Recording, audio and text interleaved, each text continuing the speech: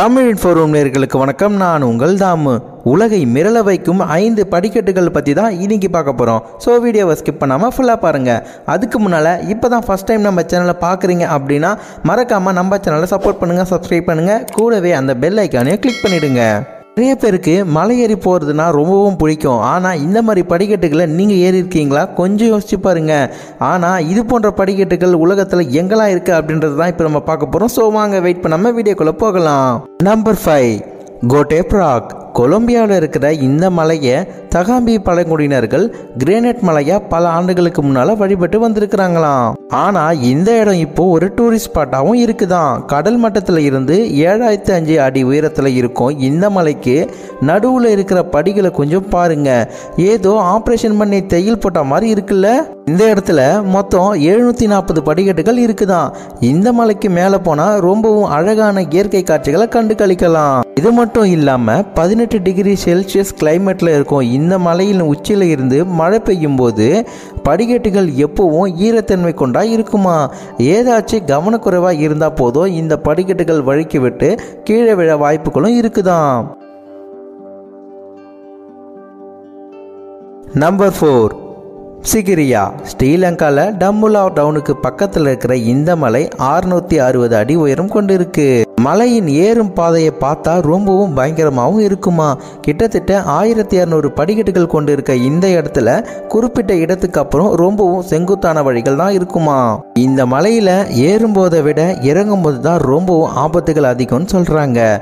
இரும்பு பழுப்புகள் கொண்ட இந்த படிக்கட்டுகளை ஏறும்போது ரொம்பவும் அழகான இயற்கை காட்சிகளை ரசித்து கொண்டே செல்லலாம். நம்பர் த்ரீ மாச்சு பிச்சு பேருல இருக்கிற ஹுயானா பிச்சு என்ற மலையில் இருக்கிற இந்த படிக்கட்டுகளுக்கு ஸ்டேரிஸ் ஆஃப் டெத் என்ற பேரும் இருக்குதாம். இதோட உயரம் இரண்டாயிரத்தி எழுநூத்தி இருபது மீட்டராம். அதாவது கடல் மட்டத்தில் இருந்து எட்டாயிரத்தி தொள்ளாயிரத்தி இருபத்தி மூணு அடியாம். இந்த படிகள் கொஞ்சம் பாருங்க எப்படி இருக்குன்னு. கொஞ்சம் லைட்டாக ஸ்லிப் ஆனாலும் போதும். கரணம் தப்பினா மரணம் தான். எதுக்காக அப்படின்னு இதை பார்த்தாலே உங்களுக்கே தெரியும். ஏன்னா தாங்கி பிடிக்க கூட இங்கே எதுவுமே இல்லை.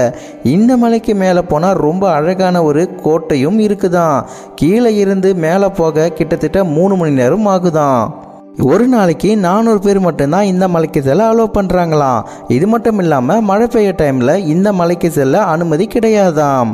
இந்த படிகள் ஐநூறு வருஷம் பழமையானதுன்னு சொல்கிறாங்களாம் இதுக்கு பதில் ஒரு ரோடு போட்டிருந்தாலே போதும். அரை மணி நேரத்தில் மலைக்கு போயிட்டு வந்துடலாங்க. நம்பர் டூ பிகோடோ டிஜிகா பிரேசிலில் டிஜிகா ஃபாரஸ்டில் தான் இந்த ஒரு இடம் இருக்குதான். இந்த மலைக்கு மேலே போகும்போது இயற்கையின் காட்சி அமைப்புகள் எவ்வளோ கால்வழி எடுத்தாலும் பரவாயில்ல அப்படின்னு சொல்லலாம். அதுபோல தான் ஒரு சைடில் இந்த படிக்கட்டுகள் பார்க்க பயங்கரமாக இருந்தாலும் இந்த மலையின் மேலே இருந்து பார்க்கும்போது கிடைக்கிற காட்சிக்கு எவ்வளோ ரிஸ்க் எடுத்தாலும் பரவாயில்லன்னு தான் தோணும். இந்த படியில் ஏறி மேலே போக ஆறு மணி நேரம் ஆகுமா? மேலே போகும்போது சப்போர்ட்டுக்கு சைடில் இருக்கிற ஒரு இரும்பு சங்கிலியை தான் பிடிச்சிக்கிட்டு போகணும். ஆனால் மழை டைமில் இந்த படிக்கட்டுகள் சுலபமாக வழுக்கும் தன்மையும் கொண்டு இருக்கான் போல தான் இந்த இடத்துல நிறைய பேரும் கீழே விழுந்தும் இருக்காங்களாம். மொத்தம் மூவாயிரத்தி முந்நூற்றி ஐம்பது அடி உள்ள இந்த மலையின் உச்சிக்கு இந்த மாதிரி ஒரு படியில் ஏறி போகிறது தனி அனுபவம் தான் சொல்லணும். நம்பர் ஒன் ஹைகோ ஸ்டாரிஸ் அமெரிக்காவில் ஹவாயில் தான் இந்த ஒரு இடம் இருக்குதான். இதுக்கு ஸ்டார்வே டு ஹேவன் அப்படின்னு இன்னொரு பேரும் இருக்குதான். மூவாயிரத்தி தொள்ளாயிரத்தி இருபத்தி ரெண்டு படிகள் கொண்ட இந்த இடம் கொவாலு மலை மேலே தான் அமைஞ்சிருக்கு. சுற்றுலா தலமான இந்த இடம் வெயில் காலத்தில் மட்டும்தான் ஓப்பன் பண்ணுவாங்களாம். இதுக்கு முன்னால் இருந்த இந்த படிக்கட்டுகளை எட்டு லட்சத்தி எழுபத்தஞ்சாயிரம் டாலருக்கு செலவு பண்ணி புதுப்பிச்சும் இருக்காங்க. இரண்டு சைட்லையும் கிரில் எல்லாம் வச்சு சேஃப்டியாக இருந்தாலும் கூட மழை காலத்தில் நிறைய புட்கள் வளர ஆரம்பிச்சதும் சில இடங்களில் படிக்கட்டுகள் தெரியாமையும் போயிடுமா இது மட்டும் இல்லாமல் அடிக்கடி மண்ணரிப்பும் ஏற்படுமா இதனால படி படிக்கட்டுகளுக்கு அடியில் சில பள்ளங்களும் உருவாகுதாம். ஒரு இடத்துல பிரச்சனை அப்படின்னா ஓகே. ஆனால் இந்த இடத்துல படிக்கட்டுகள் ரொம்பவும் மோசமாக இருக்குதுங்க. ஸோ இந்த ஒரு மலைக்கு போடுறது அப்படின்றது அவ்வளோ ஈஸியான விஷயம் கிடையாது.